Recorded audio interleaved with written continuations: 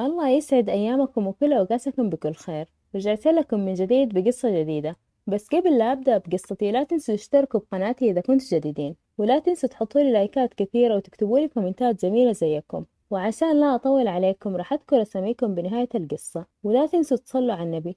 اللهم صل وسلم عليه.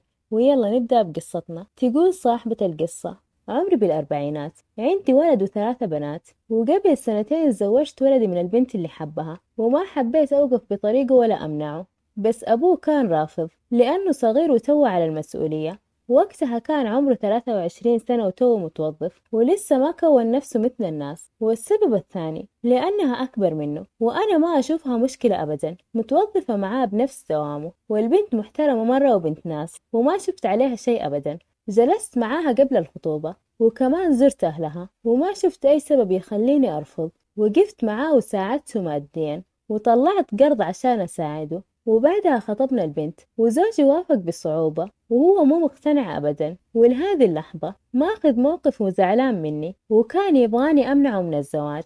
قلت له طيب وإذا راح وأخذها من غير رضانا. زماننا غير زمانهم. هم يختارون ويقررون بموضوع الارتباط. والحمد لله طالما الاختيار صح وين المشكلة؟ وليش أمنعه؟ والحين هم متزوجين وأمورهم طيبة وعندهم ولد بس زوجي للحين كاره بنت الناس وإذا جلس معانا وهي موجودة يكون مكشر ومو طايقها أبدا.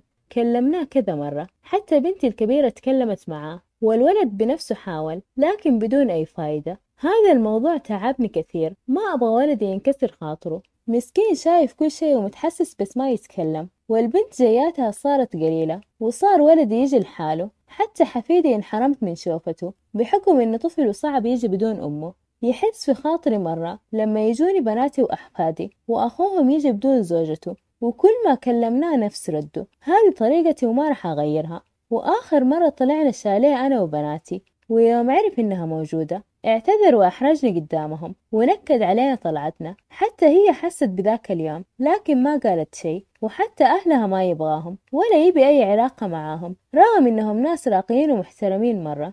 قلبي يوجعني عليها كثير ودايما حرج منها. حاولت بشتى الطرق أحل المشكلة وكنت متوقعة مع الوقت بتنحل وزوجي بينسى كل شيء لكن مع الأسف ما تغير أبدا. تكفون ساعدوني ووجهوني. وإيش ممكن يكون الحل؟